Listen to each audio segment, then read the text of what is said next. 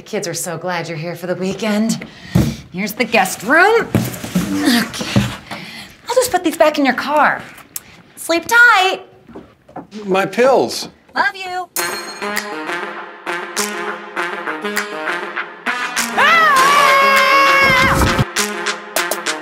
Come. Okay, hon, I, uh...